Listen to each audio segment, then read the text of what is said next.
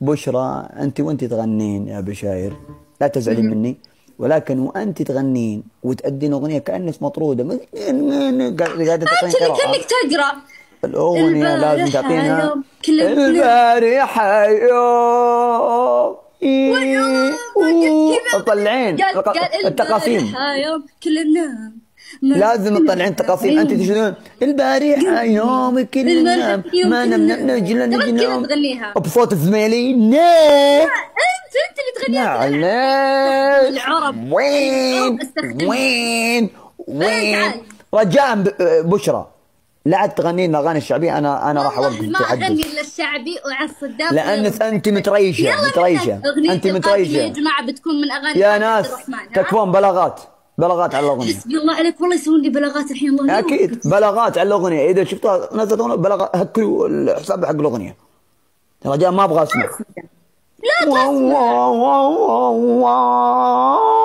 صوت ناعم ما يجي. الشعبي يطلع صوت أبح. يلا منك صوتي مو بناعم يلا بس. والله صوتك ناعم. الحين قولي لا. دقيقة غني لحن جنوبي. أنت صوتك يصلح الجنوبي لا. ما قد غنيت جنوبي أصلا بحياتي إلا صوتك يركب على الجنوبي. أنت صوتك ناعم. بس منك. لا. صوتك ناعم. لا.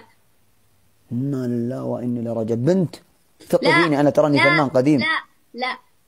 صوتك يركب يعني على ذا اللي يقول لك تقول ما أنت غني قبل ما تولد أبوي يعزف عود ما قد قال لي صوتك ناعم. هذا. الوالد ترى ما يعرف.